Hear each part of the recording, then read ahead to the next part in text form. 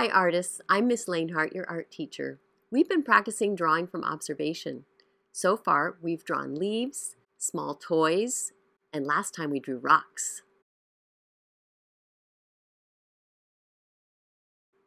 Today, we're going to practice drawing from observation by drawing food and what's inside of food. So to set up for drawing today, you're going to need to collect some kind of food. I recommend a fruit or a vegetable because they have really interesting things inside. But you could also draw a bag of fruit snacks or some popcorn or your sandwich.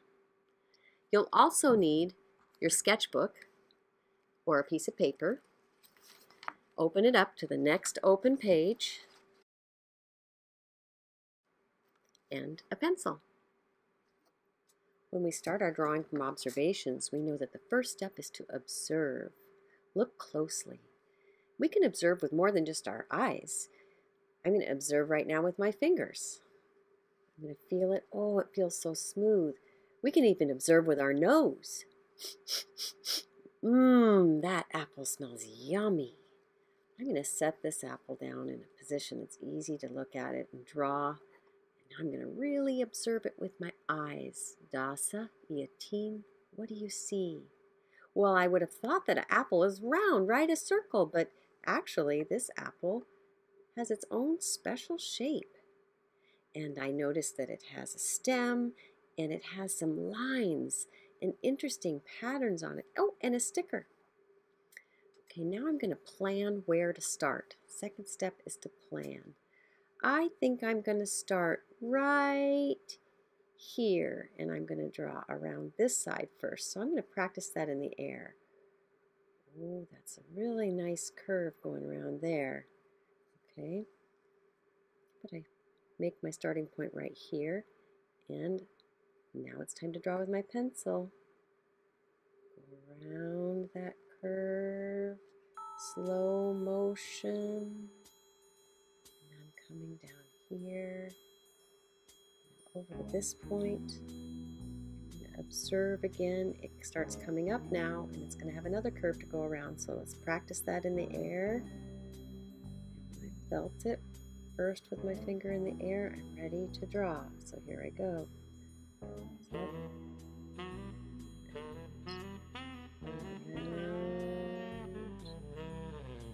to there. It doesn't have to be perfect, but I really was looking, wasn't I? I think the next thing I'm going to draw, hmm, my plan is to next draw the stem. And it doesn't start here, it's, it's in a little ways, right about here. Did you see that? You can see the apple on the other side of it. Okay, so what is the shape of that little stem? I'm going to practice it in the air first. It's up and around and down. So here I go. Now I'm going to draw it with my pencil. Up and around and down. Now my next plan is to draw this sort of hole that I see the stem in. It's a little bit of a line right around the stem. Kind of like that. And I think I'm going to do more details on the stem. It's almost like it's got a circle on top And the stem is pretty dark, so I'm going to just darken it in. And that hole's pretty dark around it too, so make that a little darker. Hmm, let's see. I think I will, my next plan is to draw the sticker here, and it's about right here on the apple. Let's practice it in the air. It's like an oval, isn't it? A little extra bump on that side. Okay, here I go. Oval, little extra bump. Some letters and numbers on it too that I might add in a minute. Or maybe I'll just make little marks that sort of look like letters. Now I think I'm going to add some of these cool lines and patterns that I see on the outside of the apple. I see one big line that starts here by the stem and goes over to the edge of the apple. So I've got that one. See another one that goes over to the edge this way. And then I see these little red shapes and kind of lines coming out this way. And maybe I'll draw this, the shape of this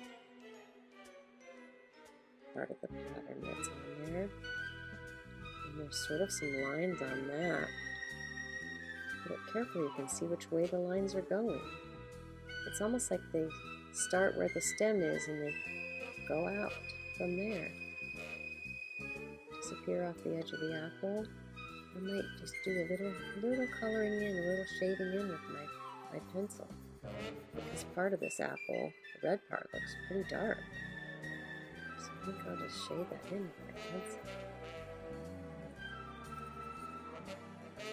So maybe a little patch over here.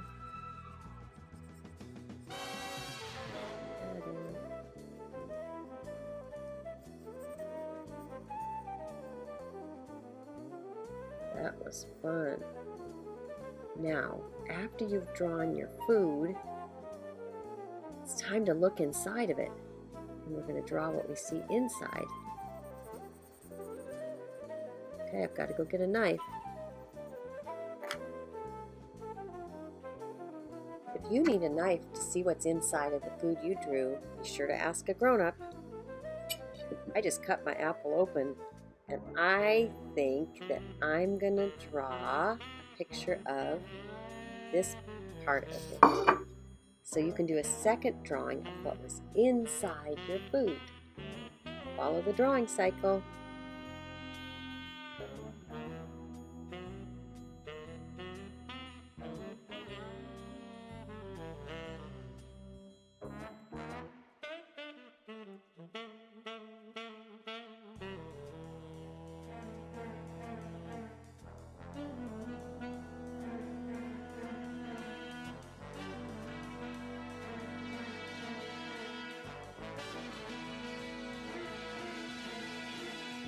That's really fun to see what's inside an apple.